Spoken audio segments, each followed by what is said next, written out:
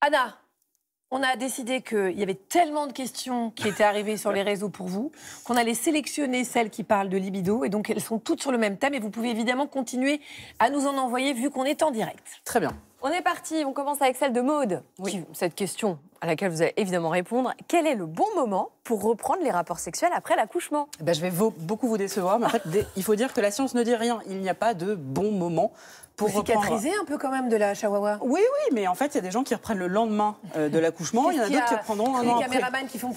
Comment Oh, appelons un chat un chat. Bah, Une là, chihuahua, une chihuahua, oui, oui. Donc moi, je n'ai rien à dire. Bon, soyez sérieux. En plus, c'est Oui, très oui, sérieux. oui, Très sérieux. oui. Enfin, voyons. C'est la première fois qu'elle me fait son garde numéro 27. Donc, euh, Donc oui, non, la science ne dit rien. Ce que j'aime bien, c'est ramener des statistiques. Il faut juste parce que les parents se disent oui, d'accord, mais dans ce cas-là, c'est quand? Il faut se dire qu'à trois mois après l'accouchement, il y en a seulement un couple sur deux qui a repris des rapports sexuels et qu'il faut attendre un an, que ce soit pénétratif ou non. Il faut attendre un an pour que tout le monde ait repris les rapports sexuels. Moi, ce que je dis moi, c'est que vous faites comme vous voulez, c'est vous les chefs, mais quand même un peu de bon sens tant qu'il y a des agrafes, des fils, etc. Je sais qu'il y a des couples qui se lancent, mais Ouais. ouh, moi, ça me fait quand même euh, ouais, un peu ça, ça mérite. Donc, moi, je pense que tant qu'il y a des points et tant que c'est un peu tout ça est très frais, j'aurais tendance à voilà. Et puis Mais c'est du bon euh, sens, c'est-à-dire que ouais, s'ils s'écoute. veulent, ils peuvent quoi. On s'écoute. Voilà, en tout cas, piano, piano, Hein il faut être d'accord dans le couple, on se force Voilà, pas. Parce qu'il y, a ouais. des- il y a des Ah, femmes qui se très forcent pour faire plaisir. Ça, c'est la cata parce que on a un rapport, aïe, ça fait mal, on se crispe, etc. Ouais. Le cerveau, il enregistre, je fais l'amour, c'est l'horreur en bas. Et clac, après, vous avez un blocage. Donc Plus vraiment, on ne se force jamais. Question de Cléa, c'est très cas pratique. hein. Faut-il favoriser certaines positions pendant la grossesse? Alors ça, oui, vous allez en voir plein de magazines, plein de tutos. On vous dit il faut faire l'amour comme ci, l'amour comme ça, j'en sais rien. Pas du tout. Euh, Ça a l'air sympa ces positions. Ouais, bon, c'est vrai que c'est pas. Vous ne connaissez pas? Non, mais il y a effectivement des Kama Sutra de la grossesse. Pour moi, tout ça, c'est n'importe quoi. Vous faites, bien sûr, comme vous voulez, comme vous pouvez, selon les limites de votre confort. Évidemment, si à chaque fois que vous vous mettez sur le dos, vous avez un malaise parce que le bébé a plus trop, bah, arrêtez le missionnaire. Mais sinon, vous faites bien ce que La vous voulez. cuillère, c'est pas mal, non? Bon, chacun fait ce qu'il veut. Hein. Oui, mais après, il n'y a, pas des, des positions pour déclencher aussi? Ah non. Non, ça se saurait, parce que sinon, on les utiliserait. On dirait pour déclencher l'accouchement. Messieurs, Yep. hop. Ah, moi j'ai entendu Non. parler de ça. hein. Vous êtes bien classique pour déclencher la- l'accouchement. Ouais. Non, non, il n'y a pas de position pour a pas déclencher. Non. Ok, bon alors on m'a menti. je le fais quand même. Euh, alors, Anna, depuis des années et particulièrement depuis ma grossesse, j'ai des brûlures vaginales qui rendent mes rapports sexuels compliqués. Est-ce qu'il y a des solutions? Alors, la solution, c'est qu'il faut trouver l'origine de ce problème. Des brûlures Ouais, bah, il peut y en avoir plein. Mais Ouais. ce qui est sûr, c'est qu'il faut jamais s'avouer vaincu. Et puis il y a des gens qui disent Ah, ça doit être dans la tête. Il y a peut-être même des professionnels de la santé qui vont Oui, dire c'est dans la tête, madame.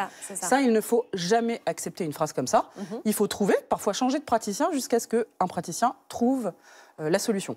Il y a un site euh, qui est extraordinaire qui s'appelle Périnée Bien Aimé, que vous trouverez sur Instagram. Ah, ouais. C'est un site internet, c'est une association de sages-femmes Mhm. spécialisée dans les douleurs vulvaires, périnéales, etc. Qu'elle n'hésite pas à s'adresser à elle pour avoir des coordonnées de, de praticiens spécialistes Ça peut être plein de choses. plein de choses. Par exemple, ça- moi, il y a une femme comme ça, ça faisait 5 ans, on lui disait c'est dans la tête. En fait, c'était une mycose qu'on n'avait simplement pas vue. Vous voyez, oui. non, mais je veux dire, des fois, c'est aussi bête que ça. Des fois, c'est une- enfin, il peut y avoir plein d'origines, mais en tout cas, on ne s'avoue pas vaincu et c'est pas dans la tête. On, a- on reçoit énormément de messages et d'ailleurs j'aimerais embrasser Adélaïde qui nous envoie plein de messages. Il y a une série de questions d'Adélaïde. je, vais, en- je vais en citer une. Alors elle dit Je suis enceinte et j'ai nettement moins de désir, surtout depuis que je suis entrée dans mon sixième mois. Est-ce que c'est normal? Oui, euh, le désir, la libido, quand on est enceinte, ça peut être beaucoup plus, ça peut être beaucoup moins, ça peut changer d'un jour à l'autre. On ne s'inquiète pas, tout est normal pendant la grossesse. Aucune panique à avoir. Ça peut être extrêmement fluctuant. Le tout, c'est de savoir en parler avec son partenaire pour pas que le partenaire s'imagine que parce qu'il y a des problèmes d'amour ou de je sais pas quoi. Ça vient de lui. euh, Voilà, et d'ailleurs, euh, je tiens à dire que les coparents peuvent tout à fait avoir le même souci, avoir un, un désir qui a une libido qui fluctue au fil des jours et des trimestres. Le tout, c'est de parler. Il faut parler, quoi. Il y en a aussi qui n'en ont pas du tout, des coparents euh, qui n'ont pas du tout de libido, qui ne peuvent pas toucher leur femme Voilà, enceinte. Exactement. Mais là, Et là, on s'inquiète ou euh, Ben non, mais là, c'est pareil. Il faut absolument en parler parce qu'il y a des femmes qui s'imaginent, bah ça y est, en fait, euh, il ne m'aime plus. Ou Oui, il me c'est- trouve moche, alors qu'en fait, c'est pas du tout le problème. Oui. Et donc, et si des fois on, on s'enlise dans la discussion entre partenaires, faut pas hésiter, pareil, parler à un sage-femme, médecin, sexologue, psychiatre, psychologue. N'hésitez pas, on parle de sexe toute la journée, donc ça nous fait pas peur de parler de sexe. Oui, bien sûr. Euh, Gwen, question technique. Elle vous dit Anna, à partir de quand peut-on avoir un stérilet après une césarienne? J'ai un grand regain de libido postpartum et la reprise de la sexualité sans contraception euh, lui fait peur, bien sûr. Oui, elle a bien raison, parce que contrairement aux légendes urbaines, en fait, on peut retomber enceinte extrêmement vite après l'accouchement, y compris quand on allait. Donc attention. euh, le stérilet, ça dépend des praticiens. Soit il y en a qui sont à six semaines, il y en a d'autres qui sont à deux mois et demi, il y en a d'autres qui sont un peu avant. Il faut qu'elle voie avec sa sage-femme ou son médecin qui va lui poser. Il y a la pilule, sinon, non? Bien sûr, il y a la pilule pour celles qui le souhaitent, oui. Ouais. Il y a- non, mais il y a plein de. On peut présenter surtout plein de moyens contraceptifs différents. hein. Ouais. Dans la continuité de, de- de ce que vous nous disiez, Anna, sur la discussion, il y a Lila qui demande et qui vous dit Depuis que j'ai accouché, mon partenaire a moins de désir. Est-ce que c'est parce que je suis devenue mère? Est-ce qu'il y a un lien? Ah oui, alors ça, c'est une question qui revient tout le temps. euh, D'ailleurs, que ce soit des hommes ou des femmes qui disent Ah, ça y est, en fait, on n'a plus de sexualité, donc en fait, il ne m'aime plus. Attention, je voudrais attirer, euh, enfin, je voudrais dire vraiment au couple qu'il y a quelque chose qui freine énormément la libido quand on est en postpartum, c'est la fatigue. Et souvent, les gens ils se disent Ça y est, je ne l'aime plus, je nanan, Je il est devenu père, il est devenu mère. Non, en fait, juste, ils dorment pas.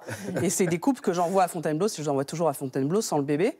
Et en fait, ils me disent Ah oui, bah Anna, on avait hyper envie de. Bah oui, je dis évidemment. À Fontainebleau, En fait, c'est-à-dire bah, Fontainebleau bah, C'est-à-dire, euh, je les envoie en week-end, forêt euh, en forêt, euh, pas loin. Ah, la forêt, c'est. euh. Non, non, non, pas du Oui, tout. parce que les patients j'adore sont en ça. région parisienne. Si- voilà. Évidemment, si vous êtes à Montpellier, Donc, je- Fontainebleau, c'est compliqué. C'est pour dire que j'ai pas besoin de les envoyer aux Bahamas, c'est-à-dire je les envoie Oui. juste à, à 50 km et après, ah, c'était super. Bah oui, évidemment, en fait, vous avez dormi, mangé, vous avez C'est répondu. de ça, Agathe, votre passion pour les forêts? Absolument. Ah bah je voilà. je je, je me disais bien. Alors, une autre question. Anna, j'ai accouché il y a trois semaines. Pas d'épisio, tout super, mais j'ai des douleurs, au coccyx juste après les rapports qui durent environ une heure, euh, puis plus rien. Est-ce que ça va passer? Attention, parce que le coccyx, il peut être luxé pendant l'accouchement. Donc là, ça vaut vraiment le coup d'aller faire un check, sage-femme, médecin généraliste, peut-être ostéopathe ou kiné, peut-être pour qu'on fasse une radio, voir s'il n'y a pas un problème de luxation, parce que ça se déluxe très bien. Mm. Je dis pas que la manœuvre est très agréable, hein, mais Ah, ça se passe déluxe. par un petit endroit dérobé? C'est un petit endroit dérobé, Ouais. tout à fait, vous avez tout compris. Mais en tout cas, c'est un grand motif de douleur, euh, la luxation du coccyx Et- ou la fracture. Et Donc, ça il se faut- remet pas tout seul. Donc, de toute façon. euh, Pas toujours, et puis surtout, ça peut être une douleur qui traîne, qui traîne, qui traîne. Il y a des gens qui restent comme ça des années, alors qu'en fait, c'est tout bête, il suffit de faire clac. Oui. Enfin, Trop moi j'ai mal au, coccyx, ça y est. Ouais, souvent les kinés. souvent des Ouais. je vous avez mal au coccyx, là Moi, Ouais. j'ai mal, ça y est, je suis en empathie, c'est horrible. Mais en revanche, la manœuvre derrière, je suis pas en Mais les sportifs le font très souvent. hein. Les sportifs, après une chute, euh, Ah ouais le font très souvent. Euh, le rééquilibrage du coccyx. Ah, bah voilà. Ah oui. oui, et, bah, l'accouchement, Dieu sait que c'est une épreuve sportive, donc ça, c'est intéressant. Voilà, c'est très intéressant. Voilà, Bah c'est oui. toujours très intéressant les, rééquilibrages du coccyx. J'ai des douleurs pendant les rapports sexuels depuis que j'ai accouché. Est-ce que c'est normal? Ah Alors ça, on ne se gêne. Non, non, il faut surtout pas se satisfaire d'une douleur.